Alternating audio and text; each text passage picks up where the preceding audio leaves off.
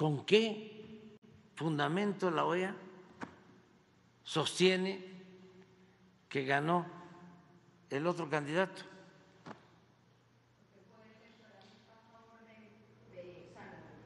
No, pero, o sea, ¿dónde están las pruebas?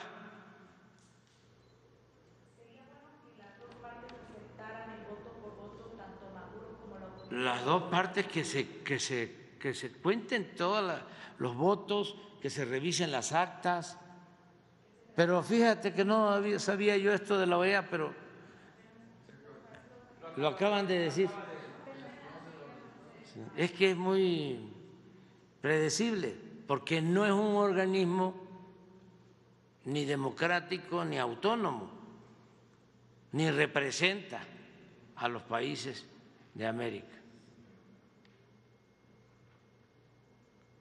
Está ahí este, como un apéndice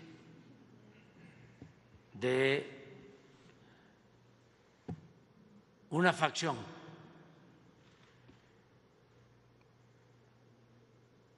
Ya esa organización debe reformarse.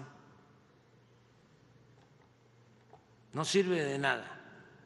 Bueno, sirve para agravar los problemas.